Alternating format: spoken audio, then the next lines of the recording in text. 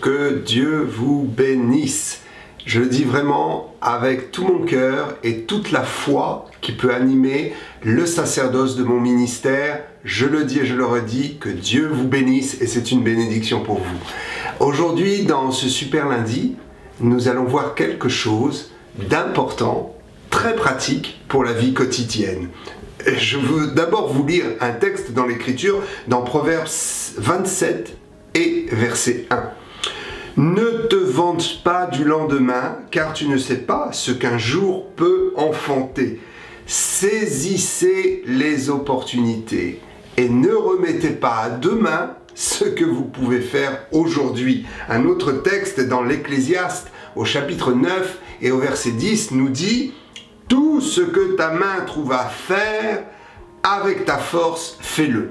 Il y a des gens qui sont tellement spirituels qui ne bougent pas un petit doigt ou une oreille sans poser la question à Dieu, est-ce que c'est ta volonté Seigneur que je bouge? Je crois que Dieu nous a laissés libres de nos mouvements et je crois que Dieu aussi bénit chacune de nos entreprises et qu'il n'est pas nécessaire dans tous les domaines de lui demander quelle est sa volonté. Alors je vois que certains vont bondir de leur chaise et dire Ah, mais comment le pasteur peut-il dire ça? Il faut demander la volonté de Dieu. Bien sûr qu'il faut demander la volonté de Dieu dans ce que nous faisons, mais il y a des moments où le Seigneur reste muet et nous laisse l'option du choix de la foi le faire tout simplement par la foi, parce que nous croyons que Dieu est avec nous et que nous avons reçu un mandat du ciel pour faire des choses, pour agir, pour bouger, pour vivre, ne pas remettre au lendemain ce que la providence de Dieu me permet de faire aujourd'hui. Ça, c'est l'évangile de la bonne nouvelle.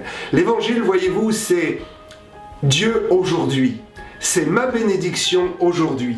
C'est ma capacité mise en œuvre aujourd'hui. Si je ne suis pas capable de croire que ma capacité peut faire que je mette en œuvre aujourd'hui des choses qui vont servir à la gloire de Dieu, qui vont servir à la bénédiction de mon entourage, à la bénédiction de l'humanité, si je ne crois pas que je sois capable de le faire aujourd'hui, pourquoi serais-je plus capable de le faire demain? Je pense que tout est grâce et qu'il faut avoir beaucoup plus confiance en soi. Euh, il y a un proverbe espagnol qui dit la route plus tard, la route du plus tard, mène à la maison jamais. Quand nous remettons à demain ce que nous pouvons faire aujourd'hui, il se pourrait bien que demain, on remette à après-demain et que finalement, nous ne fassions jamais les choses. Je crois que euh, le Saint-Esprit en nous nous permet de passer à l'action. Jacques le disait, la foi sans les œuvres n'est rien. Et je pense que nous devons faire agir notre foi pour manifester notre enthousiasme de servir Dieu, de faire quelque chose de notre vie et de passer à l'action. Ne remettez pas à demain ce que vous pouvez faire aujourd'hui et n'attendez pas indéfiniment un feu vert du ciel quand Dieu vous a déjà convaincu et quand il a déjà allumé une lumière dans votre esprit, un feu vert dans votre esprit et que l'évidence de la sagesse montre que ce que vous pouvez faire aujourd'hui de bien peut être fait aujourd'hui et ne doit pas être mis à demain. Vous savez, il y a aussi les gens qui pensent que demain, ils auront de meilleures opportunités. Nous l'avons lu. Tu ne sais pas ce qu'un jour peut enfanter. Demain appartient à demain et nous ne savons pas si demain nous aurons de meilleures opportunités et de vouloir toujours spéculer, parier sur l'avenir en nous disant je peux le faire aujourd'hui mais finalement si je le fais demain je le ferai peut-être mieux et j'aurai peut-être de meilleures opportunités. À jouer à ce jeu-là finalement on se lève un matin et puis il n'y a plus aucune opportunité. Notre euh, euh, envie de faire s'est éteint, notre enthousiasme a été vaincu par cette attente, cette trop longue attente, et finalement nous ne faisons rien. Je voudrais reprendre un, un proverbe, euh, une fable de La Fontaine qui parle d'un héron, le héron au long bec. J'aime beaucoup cette fable qui raconte qu'un héron se promenait le long de la rivière, il avait faim, et euh, là il voit un bon poisson, et il se dit finalement, ce poisson euh, n'est pas digne de moi. Euh, peut-être je vais attendre et je vais pouvoir trouver un poisson meilleur et faire un meilleur repas. Parce que, après tout, je suis un héron, n'est-ce pas Emmanché d'un long cou avec un long bec. Je suis quelqu'un de digne.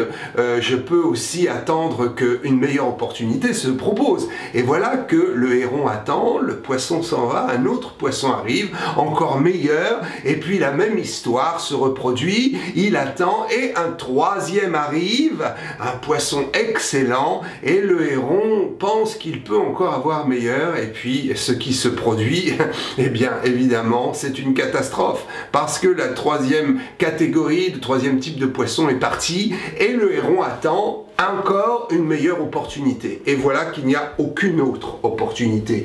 Et que le héron commence vraiment à avoir faim. Et il va se contenter d'un petit limaçon.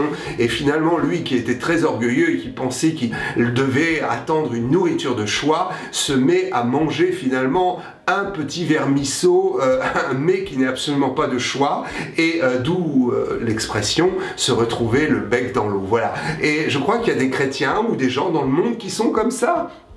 Et peut-être vous avez fait vous-même cette mauvaise expérience et je veux vous encourager parce que Dieu ne nous condamne pas, Dieu nous encourage. Il veut que nous puissions saisir les opportunités sans attendre demain une meilleure opportunité. Il y a des gens qui pensent que euh, l'opportunité qu'il leur est donnée n'est pas assez bien pour eux. Mais sachez que Dieu euh, nous fait euh, grandir et nous propulse parfois par des petites opportunités qui vont nous entraîner plus haut, nous permettre d'obtenir des expériences. Des petites opportunités ont été pour moi et pour ma vie de véritables tremplins, plus que de grandes opportunités. Je crois que nous avons à apprendre de tout et nous devons faire attention de ne pas gaspiller, de ne pas gâcher notre capital vie. Peut-être vous avez une opportunité dans votre travail et vous avez trouvé que c'était pas assez bien pour vous. Saisissez-la, allez de l'avant et faites quelque chose et grandissez. Peut-être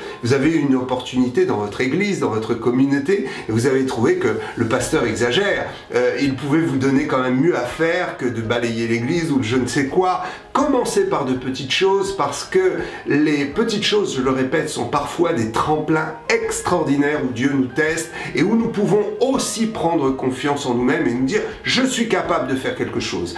Que Dieu vous bénisse, que Dieu vous bénisse. À bientôt pour un super lundi et n'oubliez pas aujourd'hui appartient aujourd'hui. Faites ce que vous devez faire aujourd'hui. Faites-le avec toute votre force, votre énergie et n'attendez pas demain. À bientôt.